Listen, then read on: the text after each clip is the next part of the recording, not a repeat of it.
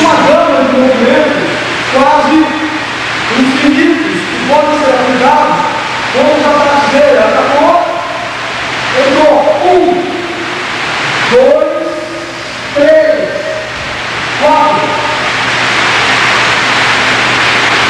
A lista de movimentação, por favor, é bem baixa. Então eu estou o tempo. por aqui, Bate um, dois, três. Chuta por Isso é uma gama de movimentos quase infinitos que podem ser aplicados contra a traseira. Tá Acabou? Eu dou um, dois, três, quatro. A lista de movimentação, por favor, vem para cá.